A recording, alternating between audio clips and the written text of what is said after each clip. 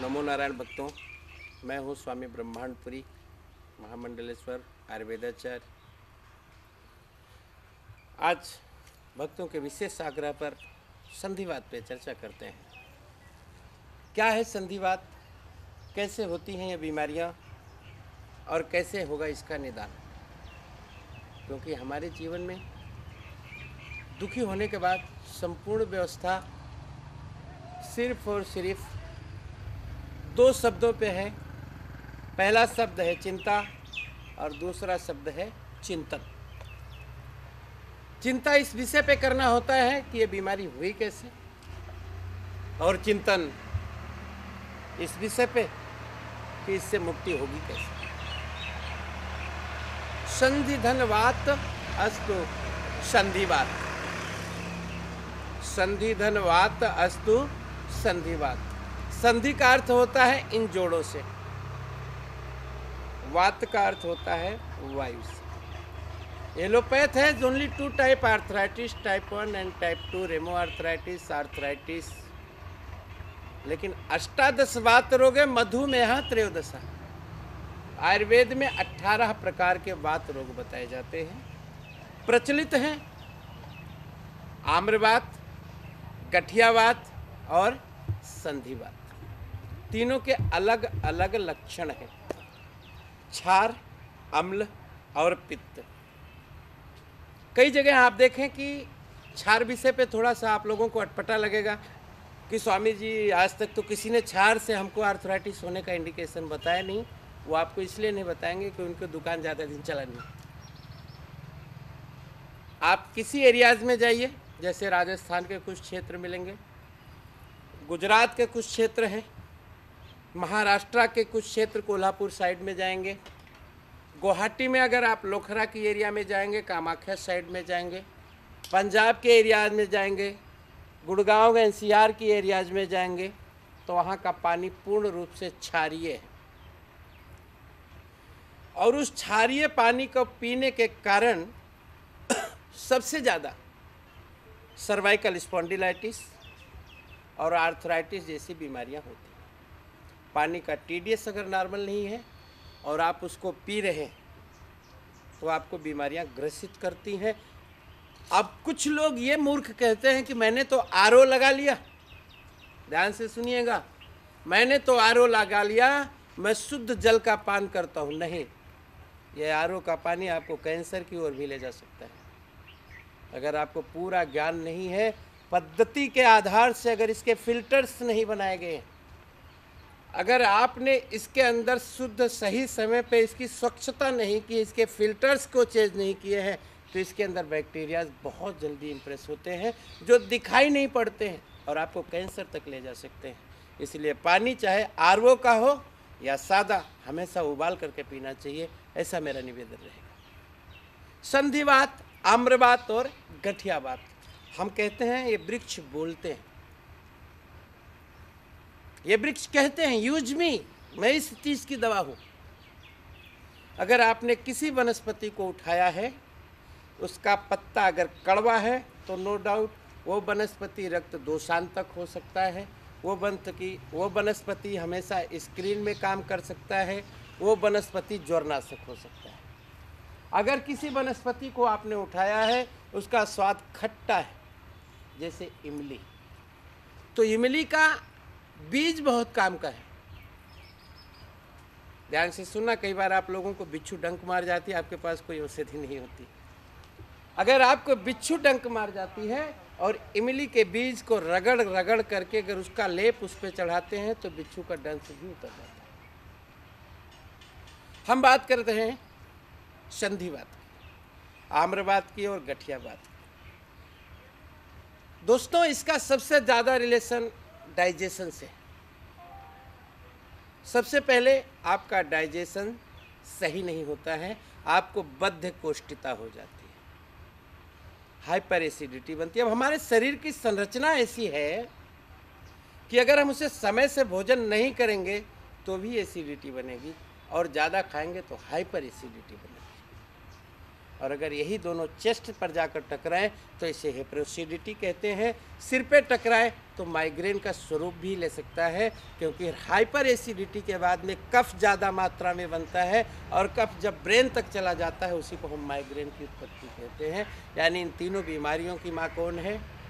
Digestion आपका पाचन तत्व शुद्ध रहना चाहिए। आहार विहार में ध्यान रखना है आपको, वातवर्धक चीज़ों का बिल्कुल सेवन ना करें। वातवर्धक क्या है? दाल की हम बात करते हैं। आज हम हमारे घरों में जिन दाल को बड़े स्वाद से खाते हैं ना, उन दालों में जहर। दाल पकते नहीं है, फूट जाते हम जिस दाल को कुकर में बनाते हैं, वो फूट जाते हैं और कुकर में उस दाल को बनाने के बाद उनका जो नेचुरल हंड्रेड परसेंट सत्व एनर्जी है वो सिर्फ़ पंद्रह परसेंट रह जाता है। प्राचीन परंपरा में अगर आप जाएँगे तो हमारे यहाँ मिट्टी के बर्तन में दाल बनाया जाता था। और मिट्टी के बर्तन के दाल को 48 घंटे तक रखा जाए तो उसके अंदर कैल्शियम इंग्रेडिएंट्स नहीं खत्म होगा, उसके अंदर फास्फोरस नहीं खत्म होगा, उसके अंदर के कोई भी इंग्रेडिएंट्स खत्म नहीं होते। यानी वातवर्धक चीज़ों में आ गया, चने की दाल है, अरहर की दाल है मूंगफली के दाने हैं। बैगन जो सबसे लोगों का प्रिय भोजन है, खैर। बैगन सबसे ज़्यादा वातवर्धक है, उसका सेवन बिल्कुल नहीं करना चाहिए। आलू में सबसे ज़्यादा वात है, चावल में ज़्यादा वात है। इनका सेवन बिल्कुल ना करें, और अगर करें भी तो सदैव सब्ज़ी में हींग का इस्तेमाल कंपलसरी करें। और छोंक में लहसुन का इस्तेमाल करें तो शायद आप इससे थोड़ा संरक्षित हो जाएँगे। सुरक्षित नहीं हाँ। अब आपको इन बीमारियों से बचाने के लिए मैंने बहुत ज़्यादा रिसर्च किया। मेरी 42 टू ईयर्स एज है, मेरे 19 साल इसी में लग गए। गांव-गांव में जाकर के देखा, एक अमीर के पास है तो सब कर लेता है, लेकिन गरीब क्या करेगा? हमारी मोरर मेडिसिन हैं, हमारी बड़ी बड़ी मल्टीनेशनल कंपनियाँ हैं।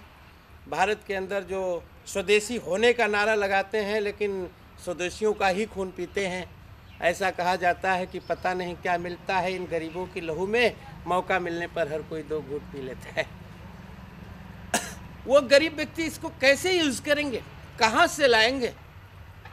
इस विषय पे मैंने रिसर्च किया। गाँव गाँव में जा कर के इन वनों में जा कर के एक एक चीज़ें इकट्ठा की, क्योंकि मित्रों में ग्रास शूटर हूँ। मेरे पास तन मन विद्या है, धन नहीं है, न था, ना है, न कभी होगा, क्योंकि जहाँ सरस्वती है, वहाँ लक्ष्मी रुक नहीं सकती।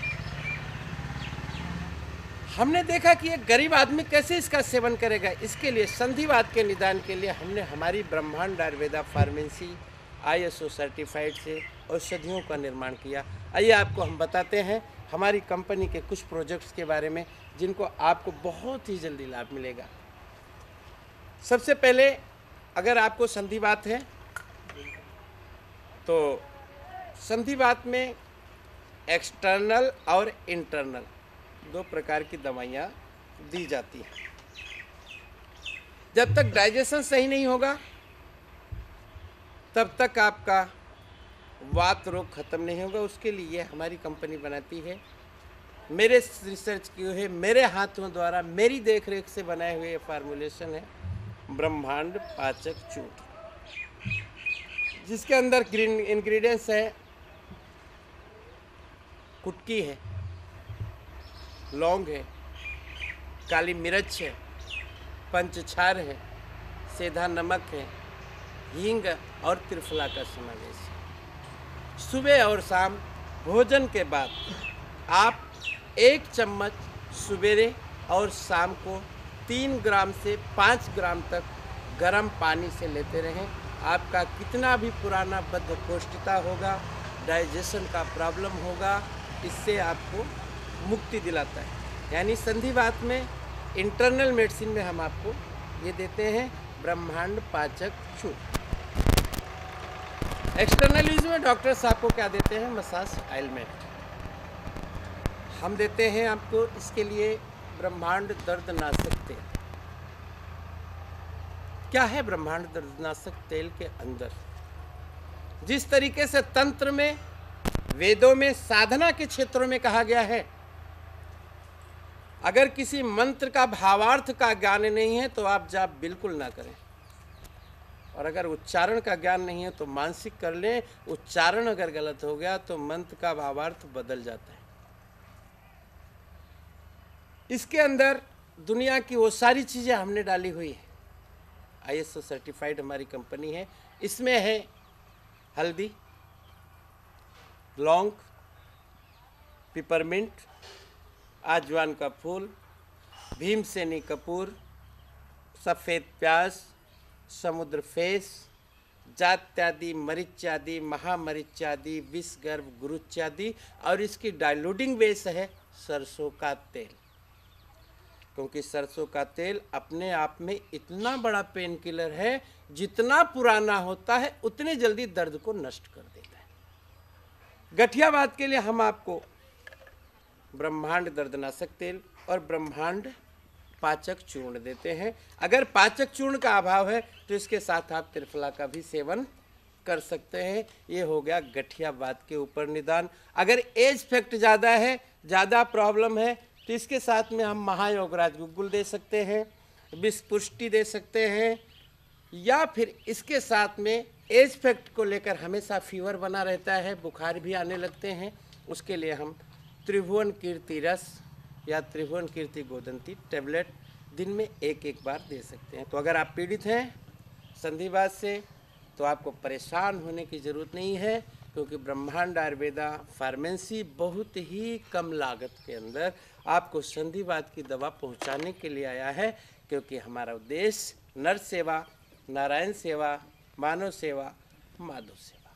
अब देखिए, इसमें एक आर्थराइटिस का और एक नया प्रकार होता है।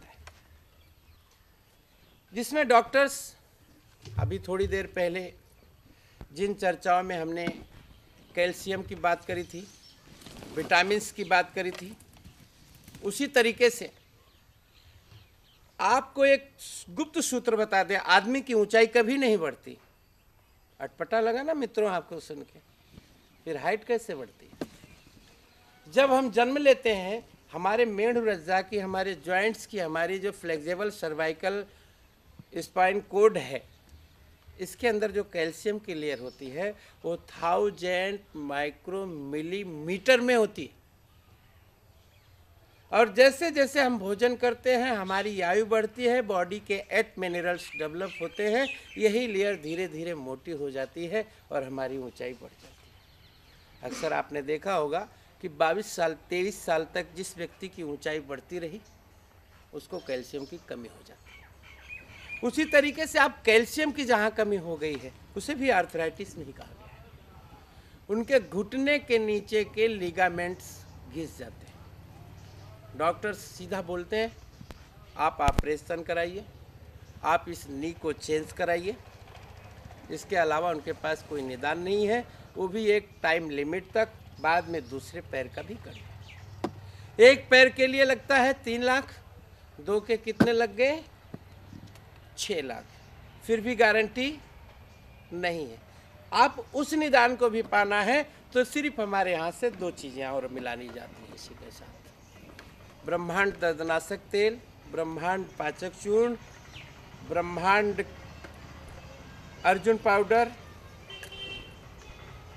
देना होता है और ब्रह्मांड चिरायता पाउडर होता है। अब यहाँ थोड़ा सा थेरेपी कंपटीशन कह लीजिए, या फिर मॉडर्न मेडिसिन की कंपटीशन कह लीजिए, लोग हमसे ये कहेंगे कि महाराज जी, अभी तो संधिवात में त्रिफला और पाचक चूर्ण की बात थी, अब अर्जुन और चिरायता का इसमें क्या रोल है? क्योंकि मेडिकल में प्रैक्टिकल की ज़रूरत है, भावना आस्था की ज़रूरत नहीं देखिए, ये चिरायता या अर्जुन का रोल अगर हम करते हैं तो ये चिरायता है। मूलतः आयुर्वेद विशेषज्ञ इसका प्रयोग सिर्फ़ और सिर्फ़ ज्वर में करते हैं, बुखार के लिए करते हैं। लेकिन इसके अंदर फाइबर है, इसमें कैल्शियम है, ये डाइजेस्टिव भी है, ये ब्लड प्यूरीफायर भी करता है। और सबसे ज़्यादा इसके अंदर कैल्शियम की मात्रा पाई जाती है। सेम कंडीशन जब एक एज फैक्ट से वो हालत आती है, उस समय तक आदमी की उम्र 45 के बाद हो जाती है। और 45 के बाद आदमी का ब्लड गाढ़ा होने लगता है प्रोस्टेट के प्रॉब्लम्स होने लगते हैं बोन म्यूरोज वीक हो जाते हैं। हार्ट में प्रॉब्लम्स आते हैं सेवरम कोल्ड स्टोर या बैड कोल्ड स्टोर बढ़ने लगता है। इसलिए अगर हमने चिरायता के साथ अर्जुन को कॉम्बिनेट कर दिया तो अर्जुन में ही कैल्शियम की मात्रा अतिशय पाई जाती है, ज़रूरत से ज़्यादा पाई जाती है। कैल्शियम बढ़ने लगेगा, ये दोनों दिया गया तो आपके नीचे, घुटने के नीचे कैल्शियम की पूर्ति होने लगती है और आप नी चेंज करने से बच जाते हो। आप तीन लाख रुपया देकर एक नी नहीं चेंज करवाते हो। छः लाख से दोनों पैरों के नहीं और नॉर्मल से नॉर्मल सुविधाओं में मैक्सिमम एक महीने की संधिवात की दवा ब्रह्मांड आयुर्वेदा की तरफ़ से मुश्किल से पंद्रह सौ रुपये में आपके घर पहुँचती है। और अगर इसे आप दस महीने ले लेते हो तो आपको ऑपरेशन की कोई आवश्यकता नहीं होती है। अब आप ही विचार करिएगा कि पंद्रह सौ रुपये महीने से दस महीने में लेकर ठीक होना उचित है या छः लाख रुपया दे करके ऑपरेशन कराना उचित है। इसलिए मैं सबसे निवेदन करूँगा ब्रह्मांड आयुर्वेदा की जो भी औषधियाँ हैं, पैसा कमाने के उद्देश्य से नहीं जन सेवा के हिसाब से आए हैं। आए नमो नारायण ब्रह्मांडपुरी, ब्रह्मांड आयुर्वेदा जन सेवा में समर्पित। नमो नारायण, फिर मिलेंगे नए वीडियोज़ में नई बीमारी के निदान और उपचार के साथ।